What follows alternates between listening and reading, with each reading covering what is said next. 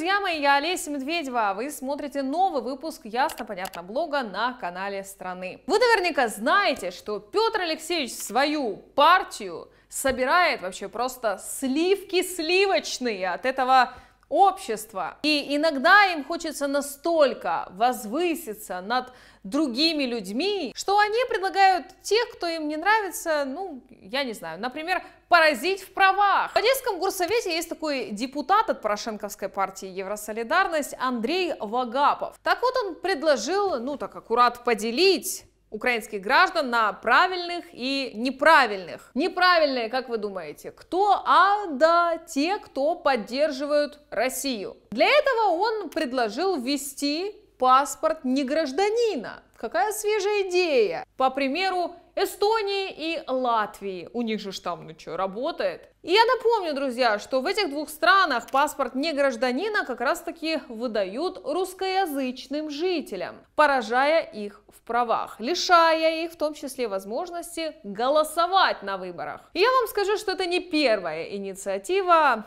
вот такая. Но они довольно плотно начали проявляться вот как раз таки в период начиная с 2014 года, то есть после Майдана. Это проявлялось как на уровне политиков, так и отдельных, ну типа всяких там лидеров общественного мнения. Но вот не задача для этих людей. Существует Конституция Украины, которая запрещает сужать существующие права граждан Украины. А в Уголовном кодексе есть 161 статья, которая предусматривает ответственность за нарушение равноправия граждан граждан. Но, как вы понимаете, ни Уголовный кодекс, ни Конституция Украины не останавливает политиков, например, тех же слуг народа, которые регулярно предлагают внести какие-то нормы, которые и законы, и конституцию нарушают. Но давайте, друзья, разберемся, а как вообще работает этот институт неграждан в Латвии, и вспомним, а кто еще в Украине предлагал лишать граждан прав. Смотрите до конца, и все станет ясно и понятно.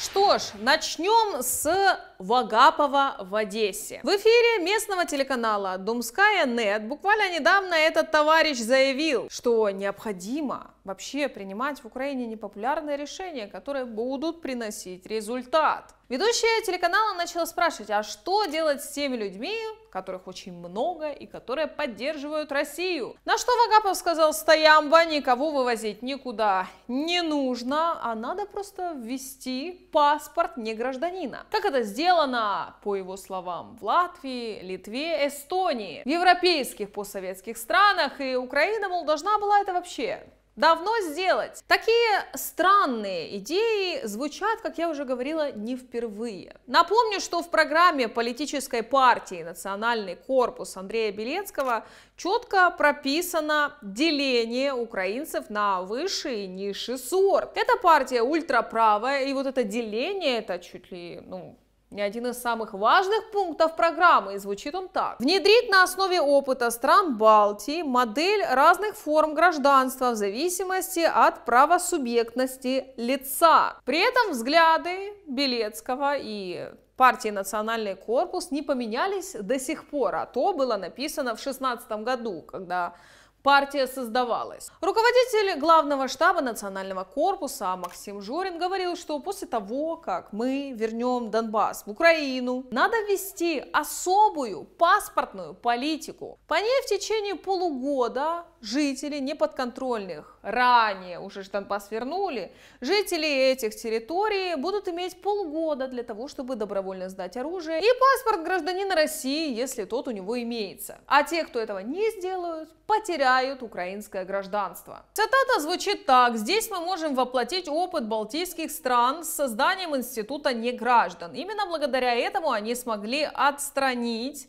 от избирательного процесса нелояльную к стране часть населения, ностальгирующую по СССР. Об этом сказал он во время круглого стола «Крым и Донбасс. Варианты возвращения» буквально вот в марте 2021 года. Я напомню также, что в 2017 году Мустафа Наем, когда он был еще в блоке Петра Порошенко, предлагал лишить права голоса на выборах переселенцев. У нас сотни тысяч людей, которые зарегистрированы на подконтрольной территории, приближенные к линии фронта, являются переселенцами, но на самом деле они живут на той территории. Центр жизненных интересов у них там. Они так или иначе сотрудничают с этой властью.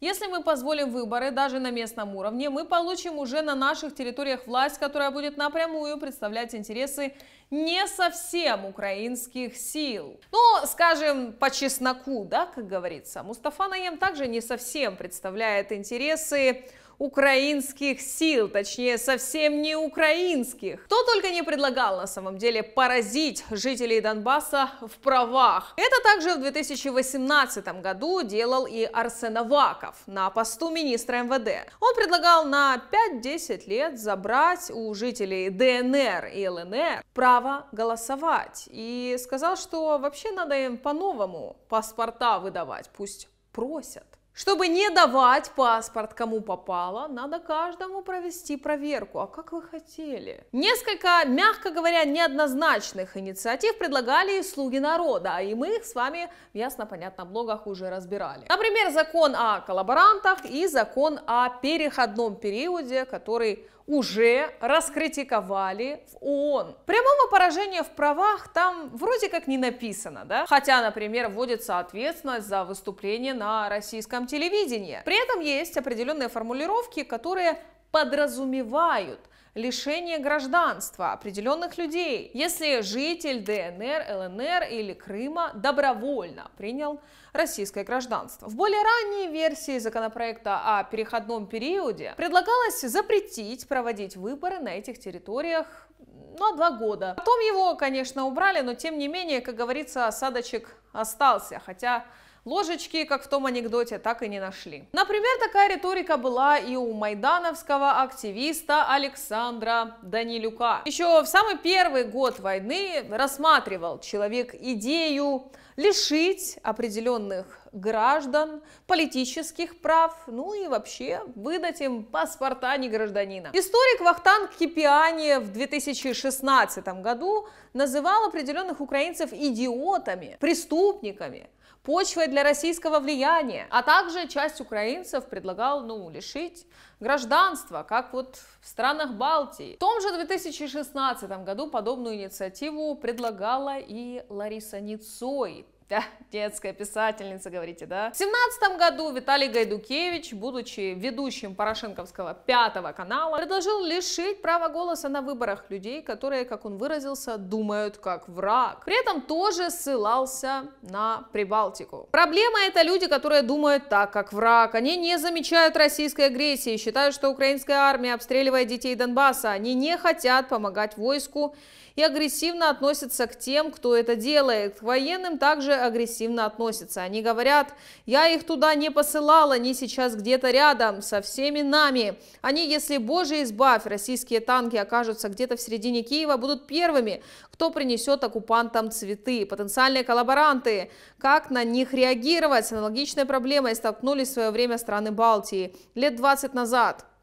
Ну, скажем, Латвия ввела статус не гражданин, не признаешь, что СССР это оккупация, не знаешь языка страны, в которой живешь, не знаешь истории страны, в которой живешь, не гражданин и не имеешь права голосовать на выборах. Престарелые шоумены, бывший ведущий программы «Караоке на Майдане» Игорь Кондратюк тоже предлагал лишить людей, живущих на Донбассе, права голоса на выборах. Кто не хочет в течение трех месяцев покидает Украину в любом направлении, Украина им за это выплачивает выездные с условием не возвращаться в Украину в течение 50 лет после выезда. Те, кто останутся на 10 лет, теряют свое избирательное право. В Донецкой и Луганской областях избираться на выборные должности и служиться в полиции в течение 10 лет будут иметь право только те, кто с начала лета 14 жили на подконтрольной Киеву территории. Про Остапа Дроздова говорить даже не будем. Все прекрасно знают, что он там отжигает, что регулярно подпадает под 161 статью Уголовного кодекса. Но эти дела, как вы помните,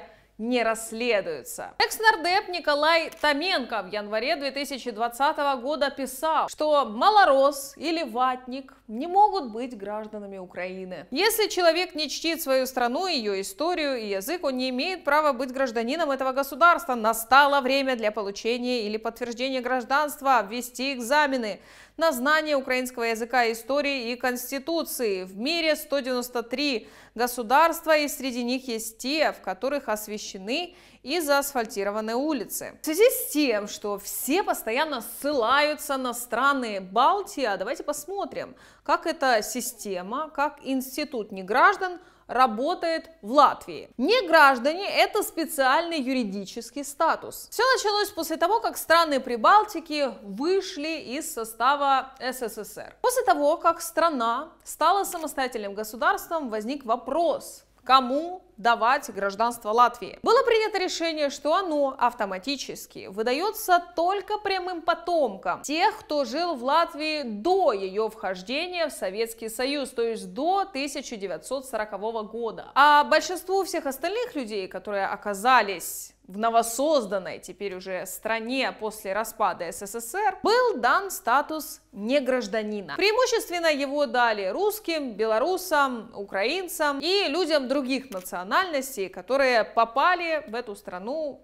после того, как она вошла в Советский Союз. Давайте посмотрим на статистику. По состоянию на 1 января 2021 года, по данным регистра жителей в Латвии проживало 209 тысяч семь неграждан из 2 миллионов 69 тысяч 89 человек, что составляло около 10%, ну чуть больше. Среди них русские это 65,5% от общего количества неграждан, белорусы почти 14% и украинцы почти 10%. Неграждане имеют латвийские паспорта, но они не красного цвета, как у граждан, а темно-фиолетовые. В них в графе гражданство оно там есть, написано «иностранец». Неграждане имеют полное право на проживание в Латвии, но при этом лишены важнейших гражданских прав. И среди них. Они не имеют права голоса на выборах, не могут служить в армии, не имеют права работать в правоохранительных органах, охране тюрем, быть чиновниками, адвокатами и нотариусами, фармацевтами, работниками службы государственных доходов ЗАГСов, ограничены в приобретении недвижимости, не имеют права иметь в собственности земли на морском побережье, лесные и сельскохозяйственные земли, ограничены в подсчете пенсионного стажа, не получают пенсию за стаж, накопленный в других республиках бывшего СССР. Негражданина могут выслать из страны в любой момент. Негражданину приобрести статус гражданина возможно, но это сделать крайне сложно. Сегодня же в Латвии ежегодно от статуса не граждан к статусу гражданина переходят 2-2,5 тысяч человек. Наиболее распространенные способы, как это сделать. Нужно прожить с гражданином Латвии в браке не менее 10 лет. Быть родителем ребенка, который старше 15 лет и проживавшим в стране более 5 лет, который получит гражданство по праву почвы. Если у негражданина есть основания натурализоваться, он, помимо всего прочего, должен еще сдать экзамен на знание государственного языка Латвии. И, скажем так, у страны есть масса проблем с негражданами. Они объединяются в группы и регулярно подают иски о нарушениях прав человека. И часто выигрывают международные суды. Европейцы настоятельно рекомендуют Латвии присвоить негражданам право голоса на муниципальных выборах, упростить натурализацию и сократить вот этот разрыв в правах. Из-за международного давления с 1 января 2020 года в Латвии приняли поправку. Дети, родившиеся в Латвии, автоматически получают гражданство. По нисходящей линии такой статус могут получить и их родители, которые имеют статус неграждан. Но в целом эти дискриминационные нормы в Латвии не отменяют. Ну и, собственно, также интересный вопрос, а получится в случае чего в Украине реализовать институт неграждан. В Латвии же статус негражданина был закреплен в конституции этой страны изначально. В Украине же на основании действующего законодательства это сделать невозможно. Нужно сначала внести поправки в эту самую украинскую конституцию. При этом у неграждан Латвии никогда не было латвийского гражданства. В то время как в Украине предлагают давать статус негражданина тем людям, которые уже имеют украинское гражданство, то есть забирать у них статус гражданина и выдавать им статус негражданина. И хотят лишить этого самого гражданства, насколько мы понимаем, жителей Донбасса, русскоговорящих, тех, кто хочет мира с Россией, тех, кому не нравятся националисты и все связанные с ними заявления, там, переименование улиц, искажение истории и так далее. Это миллионы людей, подавляющее большинство которых всю жизнь прожили в Украине, прожили на этой земле. Ну и, как вы понимаете, сделать не гражданами людей предлагается по чисто политическим причинам. То есть, кто достоин быть гражданином, а кого надо поразить в правах, будут решать чиновники, ну, судя по всему, я не знаю, на глаз, ну или по доносам, там, а у моего соседа в гараже валяется шапка-ушанка, я ее видел,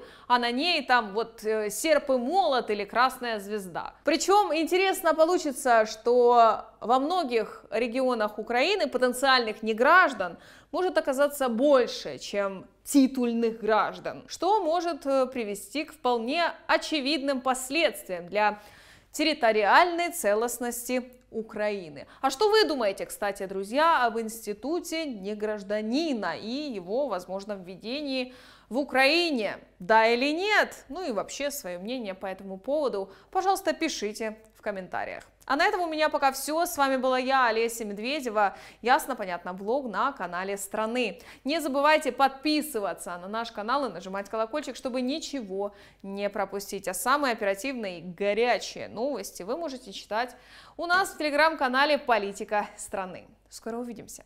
Пока.